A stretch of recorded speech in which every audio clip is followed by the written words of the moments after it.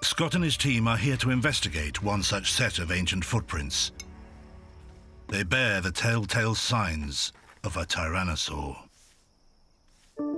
So you're looking at three deep toe impressions one, two, three. And you can also make out a well defined heel pad at the back.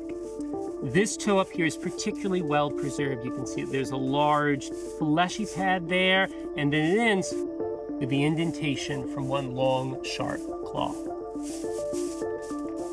Scott thinks a tyrannosaur left these prints when it walked along what was then a muddy riverbank.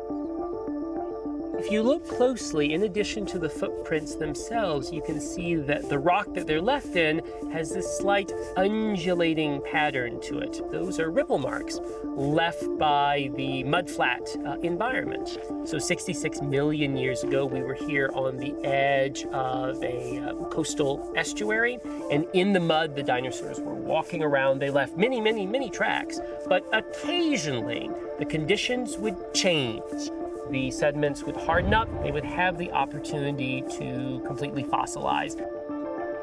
Dinosaur footprints are very rare. An entire set is even more special. There are about three Tyrannosaur trackways known in the entire world. This is the best preserved of all the tracks. Scott plans to make them immortal by using a laser to create a 3D digital copy. Scanning the trackway will give Scott the ability to take a perfect digital copy back to his lab, where he can study it in detail and discover if it was left by the most famous tyrannosaur of all, the T-Rex.